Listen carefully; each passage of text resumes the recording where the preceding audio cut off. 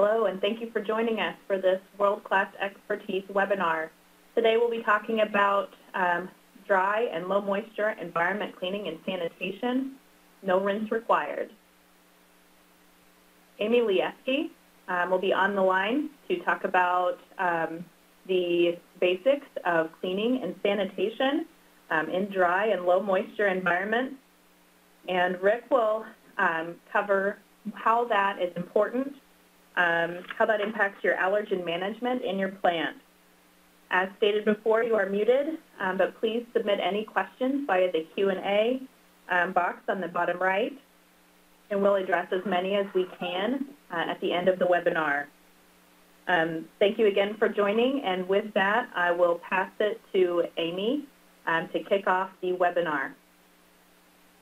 Thank you, Megan, and welcome to all joining today. To lay out the structure of today's talk, we will first outline how dry cleaning and sanitizing procedures fit into a comprehensive sanitation program, followed by a discussion on common dry cleaning challenges and water management techniques. Then we'll delve into tools and best practices for cleaning and sanitizing in dry environments, spending a bit of time to really focus in on allergen management CNS tactics. And finally, we'll wrap up with in-market solutions for dry or low moisture environment sanitation. So when we consider why facilities dry clean, it's most often tied directly to the need to reduce water. And water reduction is prioritized for a variety of reasons, including protecting food safety, maintaining or improving product quality, and or reaching sustainability goals. So Ecolab has created solutions that center around reduction and total elimination of water in facilities to meet those goals.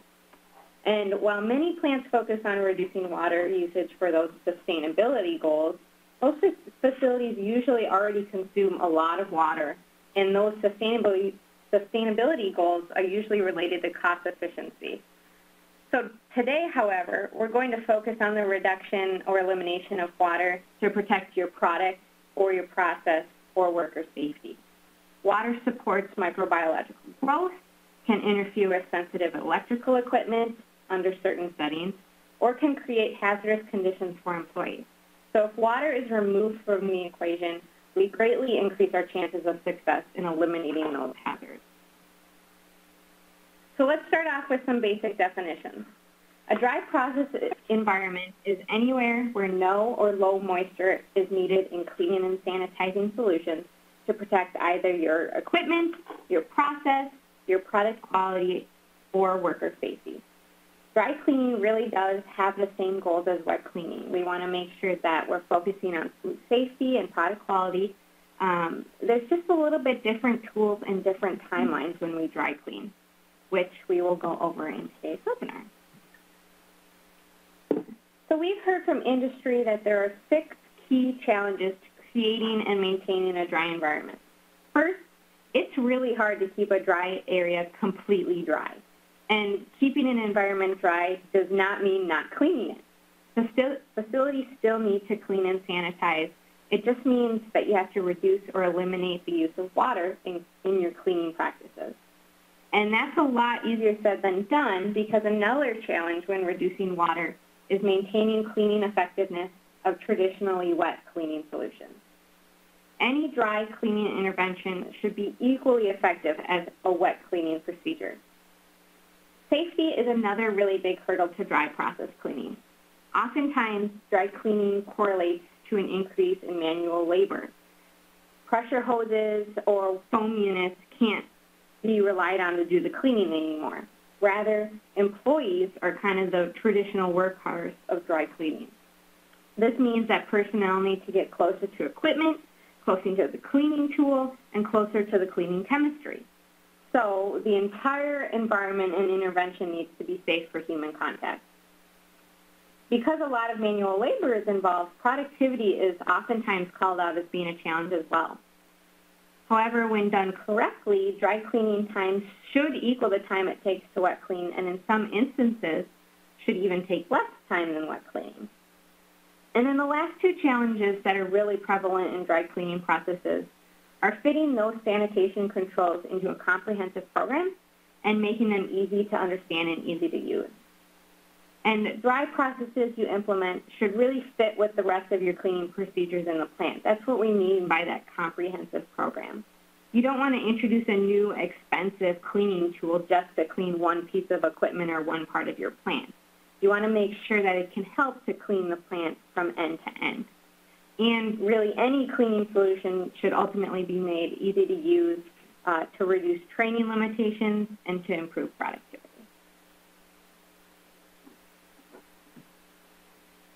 So we need to consider dry processing as that holistic program or that comprehensive program instead of a simple one-off solution in a plant. So all of these features around this circle are really needed to maintain a truly dry processing environment. First, at the top of the circle here, we want to understand when is it appropriate to use dry cleaning versus wet cleaning.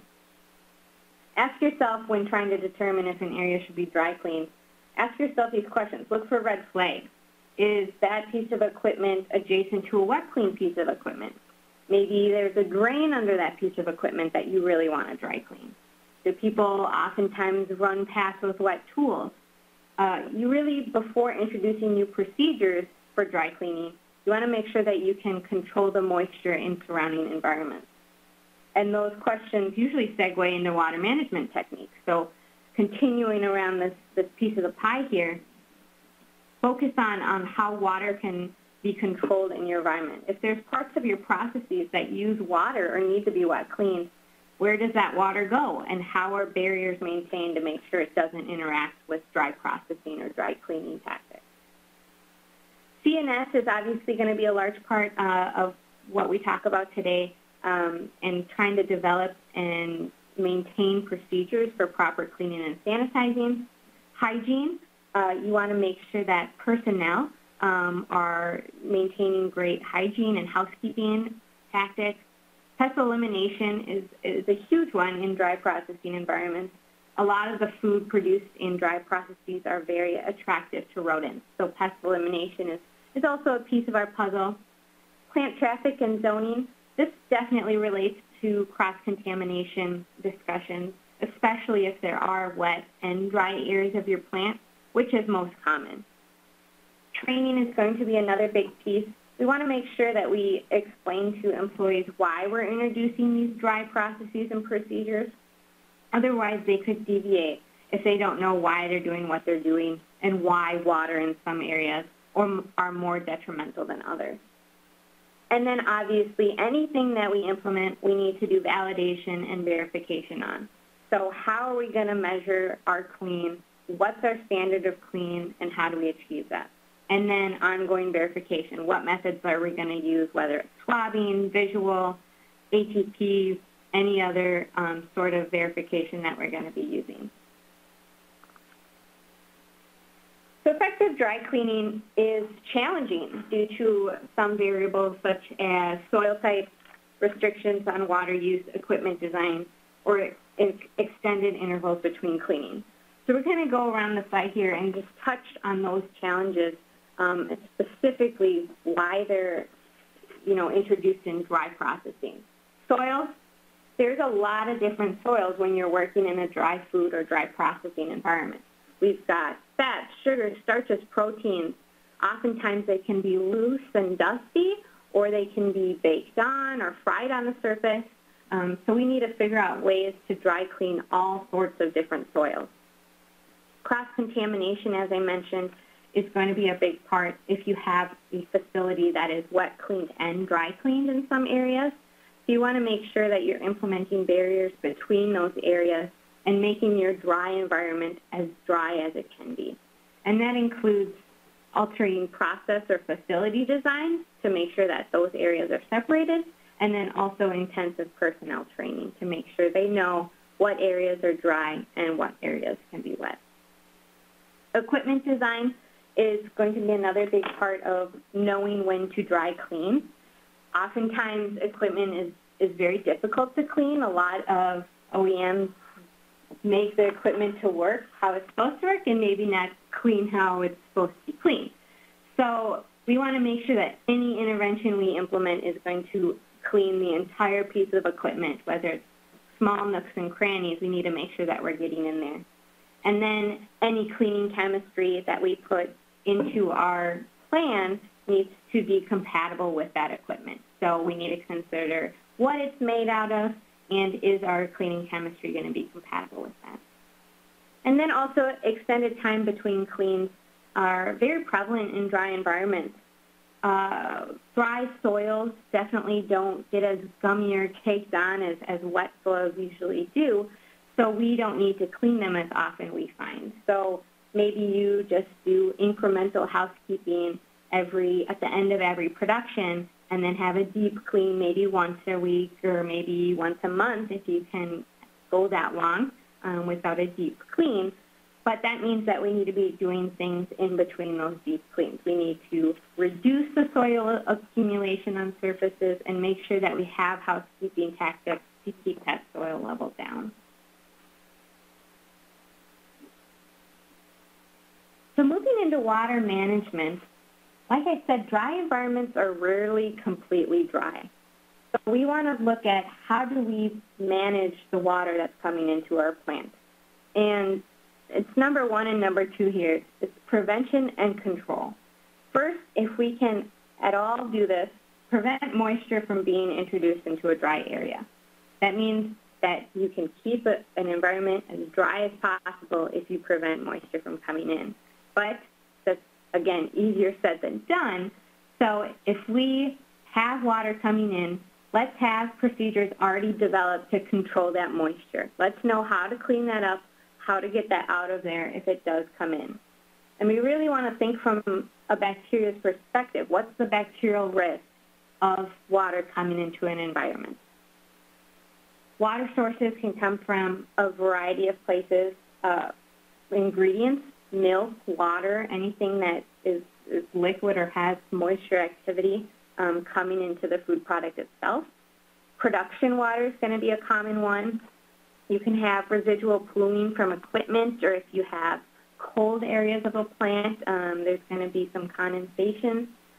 Um, think about humidity, uh, depending on where you are, where uh, your plant is located. It could be very hot and humid. If you think about Florida in the summer, the walls tend to be sweating sometimes. It's so hot and humid down there. So you can think of that as another source of moisture, or water vapor condensing on hot pipes. That's going to be another source of moisture and, and going to have to be contained in a dry environment. And then all, obviously, we've got environmental concerns. Uh, you know, plants are always getting older. They're never getting newer. Uh, so any types of leaks in equipment and the facility itself uh, really need to be contained um, and and and looked at ahead of time before they cause a problem. So we need to have knowledge that having a water in an area is detrimental, and how do we fix that? So a dry environment itself is not really conducive to standard cleaning and sanitizing methods. Ecolab's standard 4x4 method of pre-rinsing, washing, rinsing, and then sanitizing would introduce a lot of water itself uh, which is harmful to a dry environment in terms of food safety and product quality. And consumers' tastes have also started changing. They've necessitated the increase of flavors and seasonings, which translates to lots of changeovers. Um, so changeovers in process also, you know, ha- make us need to dry clean more often because we need efficient, quick cleaning and sanitizing procedures in the middle of production. So how do these needs for dry cleaning translate into four factors of our wash cycle, into a time, mechanical action, chemistry, temperature? Well, in a traditional wet cleaning process, we usually use high temperatures, pretty concentrated chemistry, takes a bit of time with all of those rinsing, pre-rinsing and rinsing steps, um, and pretty low mechanical action on workers' parts, right? We can just use hoses or foam units to do the mechanical action for us. But when we look at dry cleaning, those factors change in how we're going to be doing our work. So temperature and chemistry are reduced greatly um, because employees are coming in contact with these solutions more. So we can't use 140 degree water. we have to use probably a room temperature solution. Chemistry usually has to be more on the neutral side, safer to, to use and maybe less PPE requirements. Uh, mechanical action then is adversely increased. So usually we have to put a little bit more elbow grease into these solutions if we're getting up and close with that equipment. And then time, if done correctly, we've seen that dry cleaning can actually uh, save you time um, from a wet cleaning process. And that translates back into, you know, improved productivity or production time um, when it comes around to it. So the steps of dry cleaning, instead of looking at, you know, the pre-rinsing, washing, rinsing steps, we look at dry cleaning as a separate process. So there's a lot of concern stems from the thought that dry cleaning is very different from wet cleaning, but these steps are similar, it's just the tools that are different. So dry cleaning is really often performed because of sensitive electrical equipment.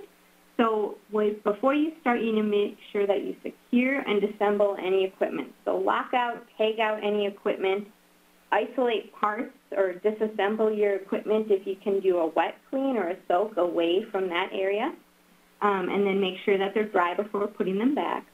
Um, but then we move into dry cleaning the rest of the equipment. So we recommend uh, dry cleaning from the top down, um, and that's because dry processing often has crumbs or larger gross soils. So if you clean from the top down, gravity makes them fall to the bottom of the equipment. So if you clean from the top down, you're not recontaminating areas that you've already cleaned. Then we do detail clean. Um, so this is really knowing the piece of equipment that you're cleaning on. You know, there's some points that could have more harbors than others or some nooks and crannies um, where soil might be hiding out more than other places. So do that detail clean, figure out what those hard places to clean are, and really look at those before you do your post-inspection um, and then repeat if necessary. And then after, you're going to verify whether you're swabbing or visual techniques, and then do your no-rinse sanitizing steps.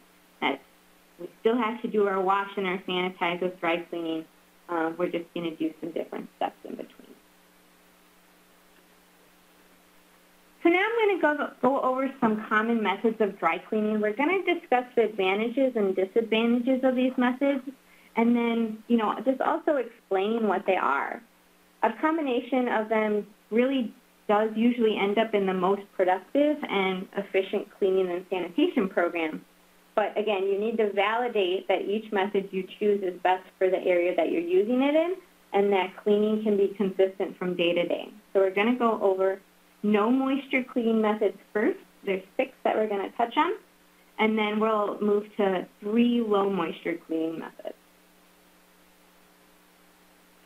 So first, we have just good old manual action. Uh, usually this is done with color-coded brushes or mops. Um, any scrubbers that you can use, we usually use that color-coded tool system.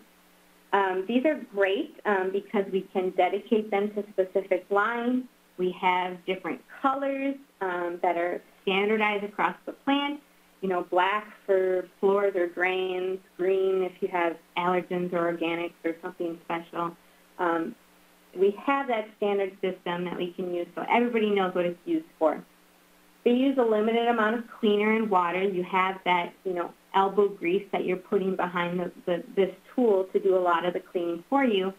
And again, they're usually low investment costs. So they're, they're pretty inexpensive solution when we're thinking in terms of, of investment. Some disadvantages, um, you do uh, tend to have a large time input if you're using scrubbing or, or manual action alone on a piece of equipment to get off soil. And then portability. You increase the risk of cross-contamination if you don't have specific areas for specific tools. So if you have, you know, say a sensitive area of the plant, say you have an allergen line, um, you need to make sure that the tools for that line stay only in that area. They can't move across barriers of the plant. Otherwise, that introduces the risk of cross-contamination. Vacuuming is a very common intervention in dry processing environments. Uh, it is uh, really easy to use. I mean, everybody grows up knowing how to vacuum. Um, so it's, it's very easy to use and very quick removal of gross soil. So if you point the vacuum at the soil, it's gone. Um, in, in dry areas, um, it's very good to use. You don't have introduction of moisture. Um, you shouldn't be getting moisture inside the vacuuming unit itself in dry areas. Um, but where we do see problems is in central systems and if you do get moisture in that central system. Um, so if water makes it its way into there, it can become a growth point for microorganisms. And if that vacuum system is not on a sanitation schedule and you're not regularly cleaning that out, that can be a source of pathogen growth. So maintain, you know, a big difference between your wet and dry areas if you're using a vacuuming system. You want to reduce that crossover. And then have a strict cleaning process for those units. Build that into your SSOPs. Be doing that regularly and checking that unit regularly.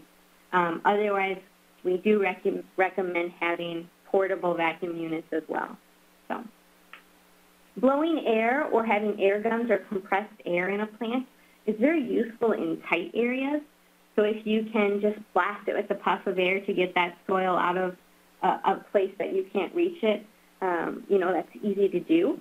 And properly maintained units really shouldn't introduce moisture, right? It's not like a vacuum. You wouldn't be sucking up any moisture into it. You're, you're pushing out air at a surface. So they should be safe from that perspective. But when you're really thinking about it, blowing air or using compressed air doesn't really eliminate a soil. It doesn't really clean a surface. It's just making it easier to reach that soil. So you're simply moving it from one harder to reach place to an easier one. So it may be easy up front, but you end up doing twice the cleaning uh, because you still have to clean up that soil, uh, which could result in a loss of productivity. And then also consider the risk of cross-contamination. So if you hit a surface with, um, you know, high compressed air, you don't know where that soil is going to transport to. It can poof and go up on another piece of equipment that you didn't want it to go on. So make sure that you are aware of that risk and use it really only when necessary and in contained areas. Hot oil flushing is a pretty uh, specialized um, method of cleaning. It's commonly used for manufacturing of nut butters or peanut butters, um, other types of, of waxes or oils like that. It really solubilizes those greases and fats. It uses a, a hot oil solution that is pushed through piping. Um, about 150 degrees Fahrenheit it operates around. Um, and then it uses that hot temperature and that contact time moving through those pipe systems um, to do the cleaning out and solubilizing of those soils. So this, is, again, is a very specialized piece of equipment. Say some disadvantages is the high temperature. You want to make sure that anybody who's using this piece of equipment is trained to use it, is wearing the proper PPE, and is not coming in contact with that hot oil. And then, again, there's limited cleaning capability you still need to do a wash cycle or some sort of, of washing because the oil itself um, is not a cleaner, right? So you still need to uh, clean the inside of those surfaces. Pigging, uh, pigs are sort of like a, a, plastic bullet that fits inside pipes. So there's many different sizes that they come in. You push them in at the start of a piping, and they either come out at the at the end of the line or at a T in the line they can come out. Um, but it's basically pushing through this, this rubber stopper um, to remove gross soil on the inside of pipes. So you make it so it fits in nice and snug, and then it kind of scrapes the inside of the pipes to, to mechanically pull off that soil. This is a really great intervention because it doesn't introduce moisture, right? It's a completely, you know, moisture-free operation. And they're pretty inexpensive. It's a low capital investment to buy these pigs. But a disadvantage is limited cleaning capability. This is a lot like the compressed air system, we're removing soil from a hard-to-reach place inside piping or inside equipment to an easier-to-reach place. It comes out the end, and now we can clean that up, right? So it's an easy to reach place and we can get that soil out. And then lastly, for, for a no moisture cleaning method, we have particle-based blasting. This is also known as dry ice blasting or CO2 blasting. Um, this is when uh, carbon dioxide, frozen carbon dioxide particles um, come out of a pressurized unit and hit a, a soiled surface at very high velocity, and they sublime upon uh, hitting the air or the environment. And that causes the soil to basically break apart um, when, it, when it comes in contact with that carbon dioxide. Um, so it really disrupts that soil. It's great for really hard soils, really hard to clean, tenacious soils. Um, it's, it's a very aggressive cleaning tactic, um, but it does increase the risk of cross-contamination. So just like blowing air to surface, if you blast the surface uh, with, with particle-based blasting, you're going to have soil transport to other surfaces. So make sure that you can contain that or that you're in a, in a contained area. Um, and then just be aware that post-blast wiping is usually required. So you need to wipe off surfaces or surrounding surfaces after you use this intervention. Moving to low moisture cleaning methods, um, steam cleaning is a very common um, method, or it's also called dry vapor cleaning. So this uses uh, steam to get into hard to reach places. Um, that's where we really recommend it for. The steam can penetrate and cling to surfaces that cloths and tools can't reach. So in, in environments where you can't, you know, use a cloth or use a tool to get to that, to that surface, this would be a good option. Um, some disadvantages, it can be high upfront equipment costs. You can rent these units if you only need to use it periodically, um, but if you buy your own units, it's a little bit more of an investment.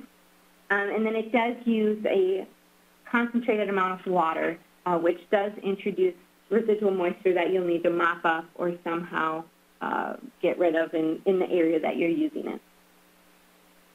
Cleaning out of place, um, thinking back to that seven steps of dry cleaning, this method can be used on equipment that can be disassembled.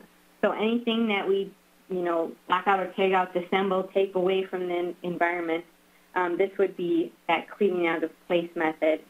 You can isolate moisture from that dry environment by distancing the COP washing area from your equipment. And this method is usually highly effective um, against microorganisms because you can use that higher temperature uh, cleaning solution. You can use that higher chemistry concentration, um, and you get a more consistent, effective cleaning. Some disadvantages, uh, disassembly of equipment can take time, um, so you don't want to be undoing your conveyor belts, you know, every time you need a clean.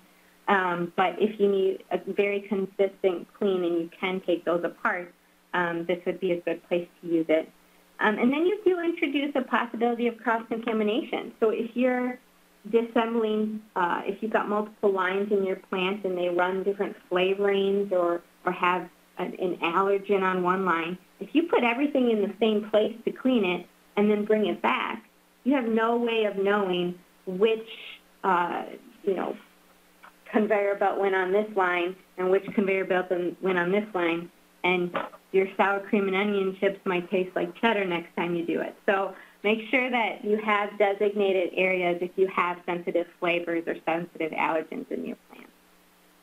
And then the last moment moisture cleaning uh, method that we recommend in dry environments is an alcohol-based cleaning product. So these are great because alcohol makes them quick drying, and we do limit the use of water that we do use with these cleaners. Alcohol is, is a neutral solution and can generally be used on pretty sensitive equipment. So if we know we have a lot of equipment with different plastics or elastomers, different metals, alcohol is uh, pretty universally compatible with a lot of things. Uh, some disadvantages, oftentimes it has to be manually applied um, because alcohol introduces a flammability risk uh, if you use a high concentration of it. You can't use it in, in automated units oftentimes. Um, and so that does tie into the safety factor as well if you need to specially store or ship alcohol products. So now I'll transition to Rick, who will discuss more in depth why these dry cleaning methods really matter, and especially in relation to allergen management. And please remember, you can submit a question for the question and answer session anytime throughout the presentation through the Q&A function or on your WebEx. Rick?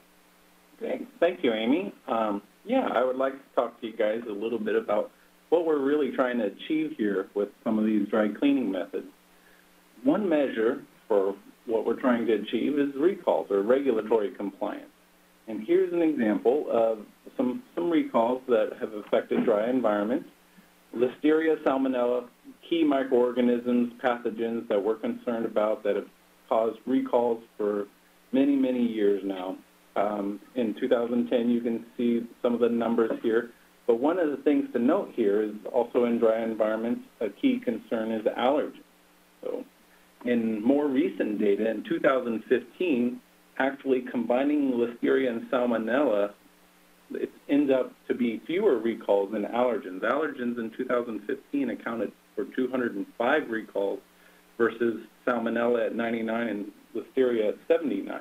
So you can see a shift that's been occurring in the industry where allergens have been increasingly important and more important because of the regulatory compliance. A lot more recalls out there because of it. So let's talk about allergens then.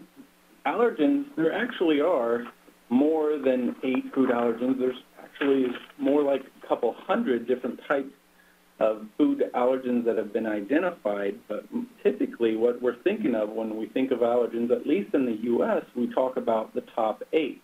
The reason you have the top eight is because that accounts for about 90% of all the food allergies in the United States.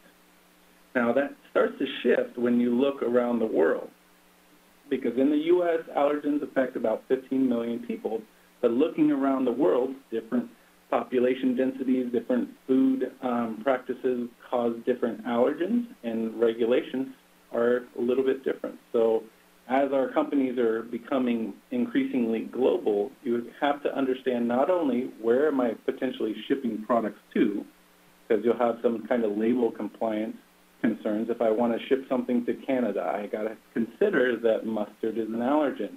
So even though in the U.S. mustard isn't considered an allergen, in Canada it is. But I also want to keep into account my ingredients. So if I'm getting ingredients from all around the world, which is quite typical nowadays, you might want to double check what kind of allergens may or may not be accounted for because that country or that region doesn't consider something you would consider an allergen.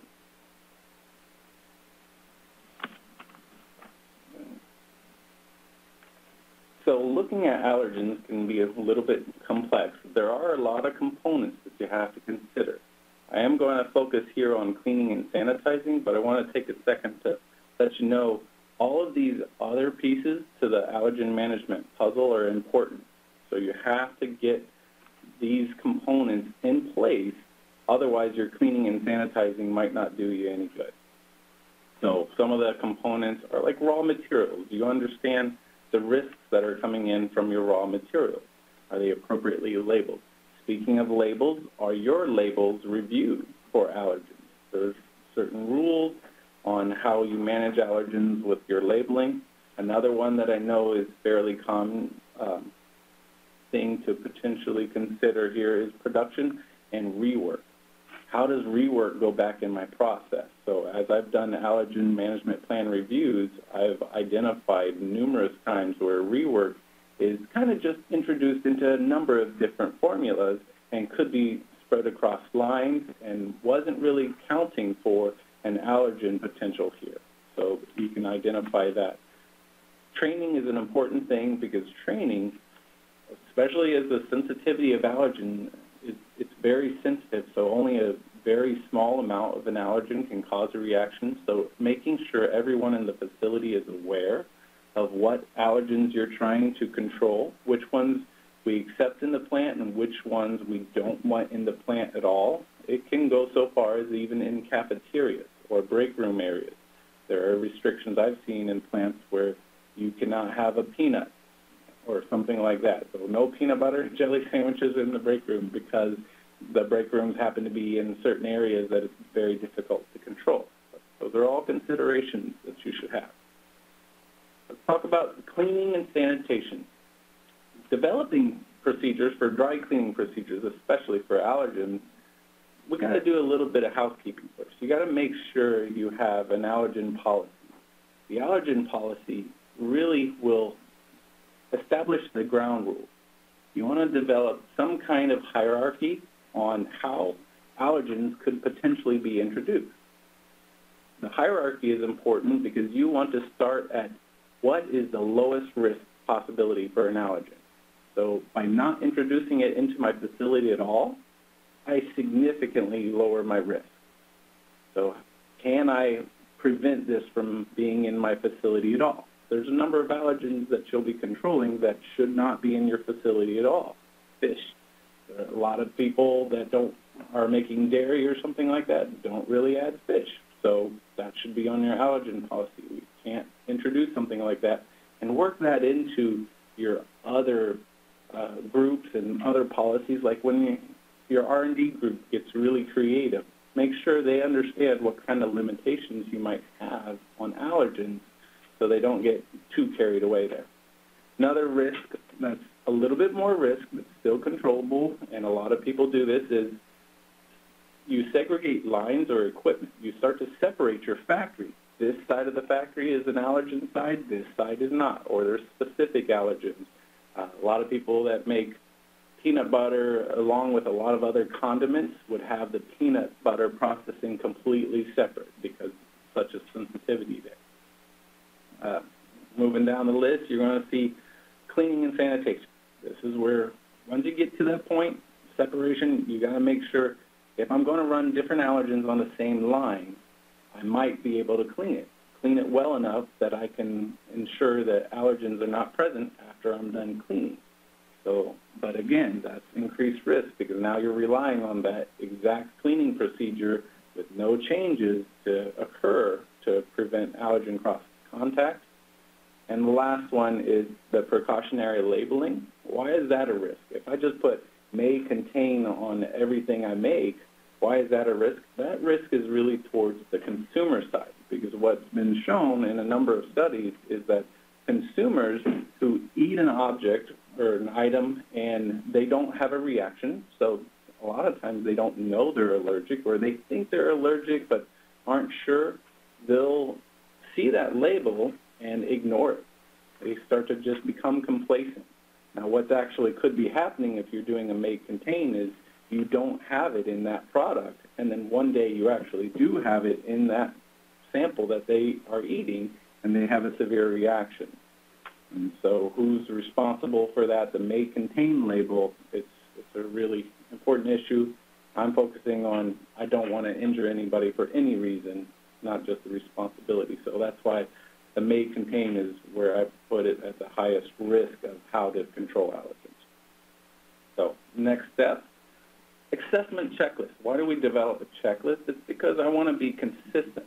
What am I looking at? I told you there were a lot of components to an allergen management plan. If I don't develop a checklist, then I won't necessarily be consistent when I evaluate one new product to another or line to another. So you want to start to write down all those things that could affect allergen cleaning.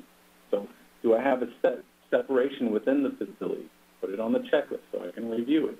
What about my incoming ingredients? Put those on the checklist. Make sure all these different components are reviewed because there's going to be a lot to it. That's why the checklists are developed.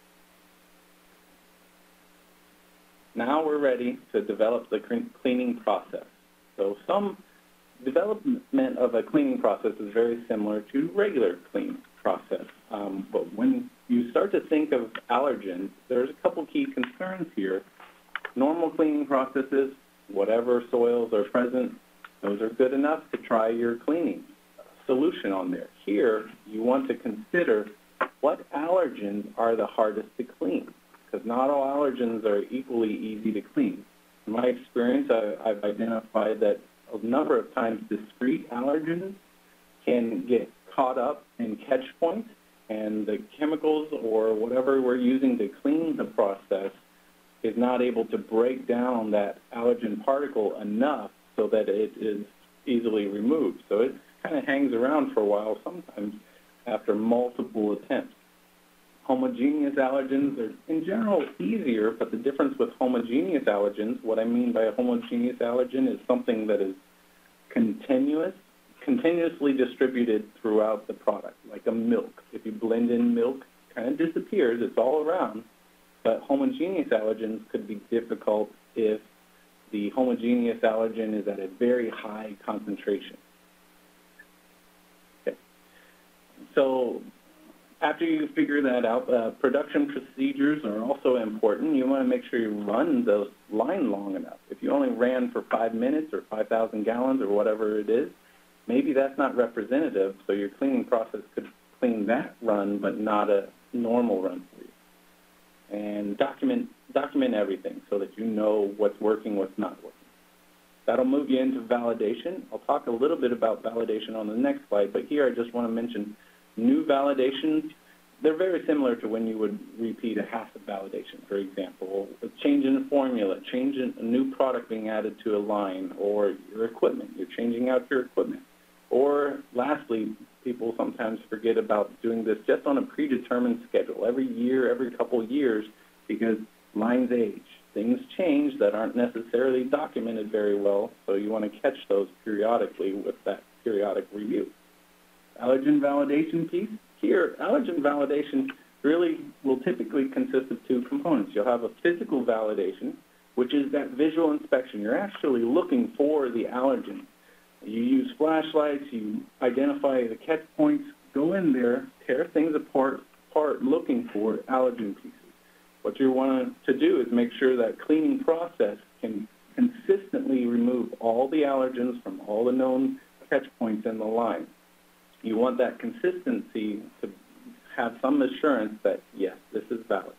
Analytical validation is a test method. Now, there's a lot of different test methods out there, but some of the more common ones are swabbing for allergens because the allergen presence can be parts per billion, very, very small levels that you might not be able to detect visually, but are still there and can still do harm. So one thing to make sure you're doing is testing your positive control, because as you'll find out with allergen tests, not all of them are created equal, and they don't all work equally well in different products. So you've got to test your positive to make sure you can find it when you know it's there. So grab some of the allergen-containing product, test it. You're also looking for hardest to clean. This is not a time where you're just swabbing the center of a conveyor belt that's easy to clean. You want to test the hard to clean area.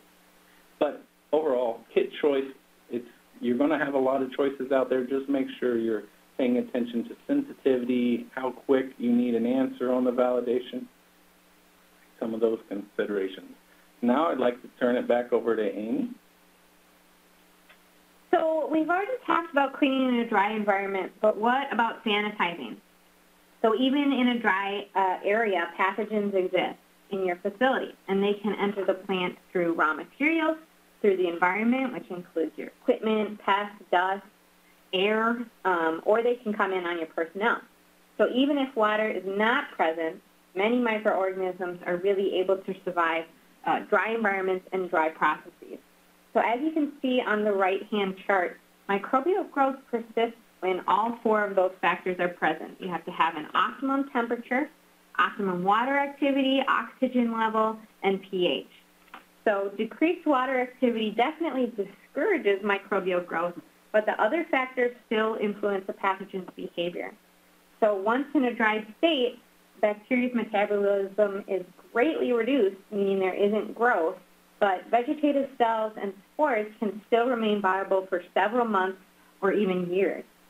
And the, the present survival and heat resistance of pathogens in low water activity foods provide a, a continuing challenge in our industry.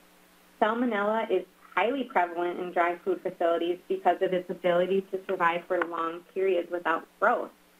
And this shows up in statistics, right? Salmonella is responsible for 94% of U.S. low water activity food recalls. So some common sanitizers for dry environments. We already mentioned we've got alcohol sanitizer. This includes Dry Sand Duo, which we're going to go over in a bit. RTU surface sanitizer, which is a high alcohol product, and then alcohol wipes, eco wipes. Quats or quaternary ammonium compound solutions are also very common. These are great to have some residual sanitizing activities such as Quorum Clear 5 and Step, which is a floor sanitizer. Then we also have that quat compound with peracetic acid. So this includes our biofilm disinfectant Boost 3200 and 3201 solutions, or Boost FT, which is our floor care solution. So thinking back to that comprehensive uh, dry processing component, that, that circled chart that we saw at the beginning, hygiene and housekeeping is, is another part of that puzzle. Incremental tactics are really key to maintaining a dry and a clean environment. So make sure that we have these personnel interventions to reduce pathogen load. We have hand washing stations, hopefully at every entrance to our plant. Make sure that people are using those. Um, hair and beard nets are great. Maybe have consider some lint or hair removal. So having those by your hand wash stations, if you know somebody on the team has a lot of cats at home or something like mm-hmm. that. Um, and then consider a hygienic footwear program. We've seen a lot of success um, having footwear cleaning or sanitizing units um, outside of coming into a facility. And then also looking at pests. Um, we can move to the next slide here. Pest management is, is another uh, area that we need to consider. A lot of the soils that are in these facilities are attractive to pests. So to minimize the need for a pest program, we want to have ongoing dry removal, and we want to really identify which ones are going to be the most problematic for us. So those are Indian meal moth, flour beetles are going to be big ones, and then grain carpet beetles are another common one. And they're really a source of, of contamination, right? If they touch one surface that has um, pathogens or allergens on them, they're going to be a source of cross-contamination. So prevention and early identification is key. We want to prevent these guys from coming in before we have to react to them. That can be costly and just not something we want to deal with. Plant traffic and zoning, you know, floors are one of the largest cross-contamination substrates in our plants. Routine cleaning of those, um, you know, improves our plant appearance and then reduces opportunities for cross-contamination. So really focus on the passageways. Um, look for those sensitive areas that you have, um, and then implement uh, sanitizing masks, doorway foaming units, boot scrubbers and sanitation units. Um, those boot scrubbers are really ideal for dry processing environment. It keeps it, uh, any washing chemistry contained um, and is really uh, great for before entering or leaving a facility. And then look at personal protective equipment or equipment and tools as ways that you can uh, manage your zoning. So make sure that we're looking at things that people wear every day. Safety glasses, boots, smocks. If those need to go on an SSOP, make sure that we're putting those in there. And then lastly, training. Build any dry processes into your SSOP and have a timeline. Uh, whether it's just constant removal or having deep cleans, make sure you have those on your timeline. And then again, make sure personnel know why they're doing what they're doing and not just how to do it. So this means if they if they know that water in an area is going to be detrimental, they're going to clean it up. They're just not going to pass it by. Um, so they know why it, it causes problems. And then understand the reality of long-term compliance. So know the culture of the plant. Are these um, new processes or procedures really going to make an impact? Are people really going to use these? Um, and then just think about, you know, time, money, those are always constant restraints in anything that we do, um, but really look at the ones that fit for you.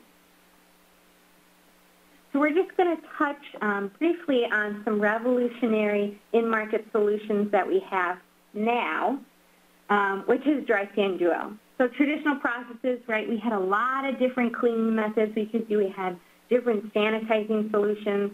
What if we could just make those into one step, uh, one cleaner rather, and, and one sanitizer all together. So that comes into DrySan Duo. And DrySan Duo was developed uh, really to demonstrate Ecolab's ongoing commitment to promote and advance food safety. So DrySan Duo is an EPA-registered, ready-to-use two-step cleaner and sanitizer. And what I mean by two-step cleaner and sanitizer is you can use it once as a cleaner, and then you simply have to wipe it off the surface. So it completely eliminates water, which is a, a giant food safety risk in dry facilities, um, and then you spray it on again as a no-rinse sanitizer. So it can be used on food contact, non-food contact surfaces. It's great against a variety of microorganisms, Listeria, Salmonella, Cronobacter, um, and then this is a low alcohol formula. So I mentioned before alcohol sanitizers can uh, bring up some flammability risk. This is low alcohol, so it's, uh, it's non-flammable, um, so it doesn't have the same storage uh, requirements or safety considerations as some other products do. So like I mentioned, uh, it's a two-in-one product, so you can use it as a cleaner first. You spray it on a surface, and you wipe it clean. You use a disposable cloth or a laundered cloth, and you wipe that soil from the surface. You do not need to rinse it, as is every other traditional cleaner out on the market. And then you uh, apply it again as a no-rinse sanitizer and let it dry before starting back up in production.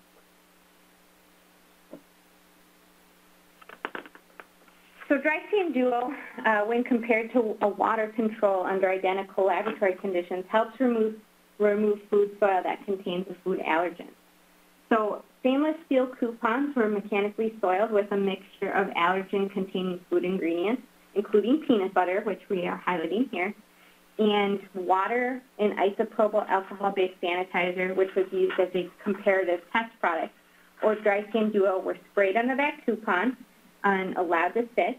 And then the coupons were dried with a dry disposable towel and swabbed with an enzyme-linked immunosorbent assay, or ELISA, test kit for the peanut allergen.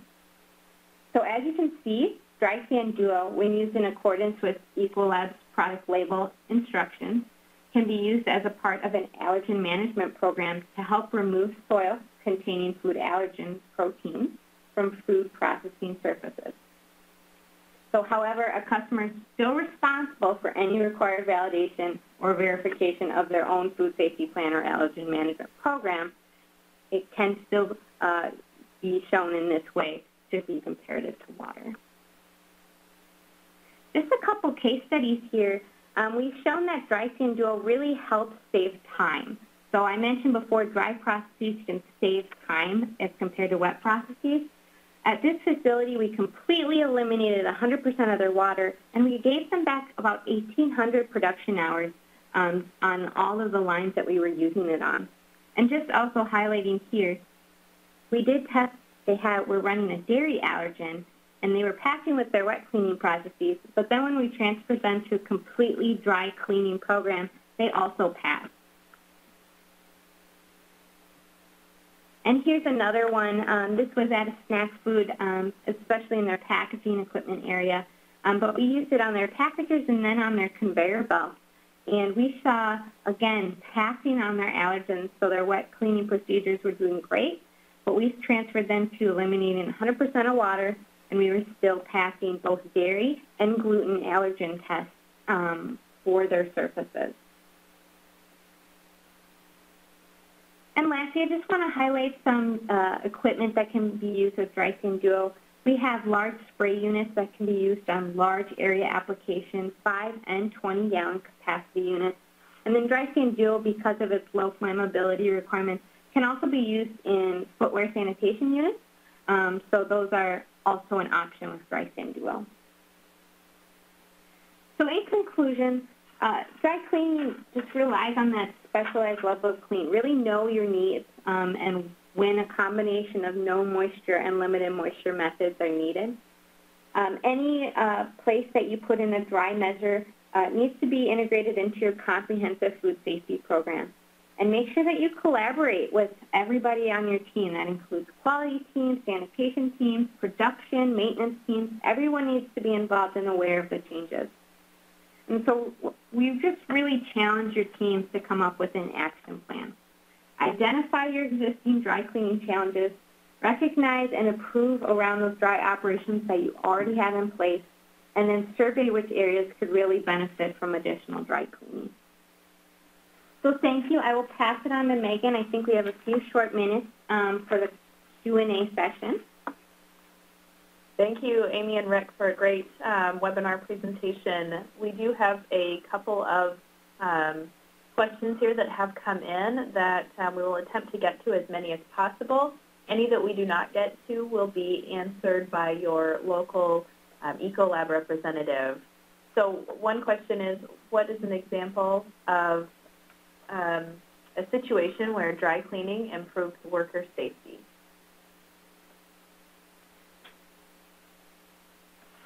So I guess I would just highlight DrySan Duo. Um, at one facility, we were doing a field test, um, and they were using wet cleaning procedures. They were using a hot caustic wash inside of a dough hopper, um, and they actually had someone going in with this hot caustic inside of the dough hopper and cleaning it from the inside.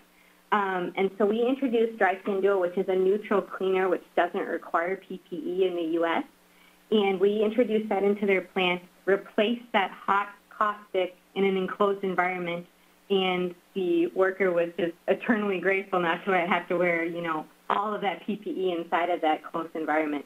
Um, and so that was a, a really big um, improvement on safety just by switching to a dry solution. And then how about a couple quick more? Do any of these dry cleaning methods work against Cronobacter? Yes. So DrySan Duo, obviously up front, um, but then we also do have um, products that have Cronobacter listed on the label. Um, I would get in contact with your local account manager. Um, they'll have all of the label details, and it's listed right out on that product itself, what organisms it's effective against and on in which applications. Okay. And how about um, what is the maximum air pressure that should be used in these dry applications? So if you are using compressed air, we do recommend that you only go up to 30 psi. That's the maximum you can can use. Um, you're still going to get some um, air transfer with that, um, but we only recommend 30 psi. And then using sterile air. So the industry accepted standard is a seven log reduction using sterile air. Okay. And then finally, with vacuuming, do we recommend HEPA filter and inclusion of the vacuum on a routine sanitation? Definitely. So we do recommend help HEPA filters um, to avoid cross-contamination, and that means that we're, we're getting rid of about 99.97% of particles that have a size of above 0.3 micrometers. Um, so the HEPA filters really reduce um, the risk of getting pathogens into our plant with a, a, a, compressed air system. And then we do recommend putting those, especially if you have a central system, on your on your SSOPs and cleaning those out regularly. Excellent. Thank you, Amy, for those responses. Um, I'm showing the resources and tools that we do have available to you, uh, uh those of you on the call. Um, we have many resources and tools that we will share with you. Um, we'll follow up with an email in about a week. Um, so for your reference, everyone who's registered for today's webinar will receive an email with a link to the WebEx recording and access to the resources listed here. We have some case studies, uh, technical videos, and um, allergen guidelines, et cetera. We thank you for your continued partnership in business Please reach out to your Ecolab representative if you have any questions and need any help to develop a cleaning and sanitizing plan that would be customized for your production facility. Thank you.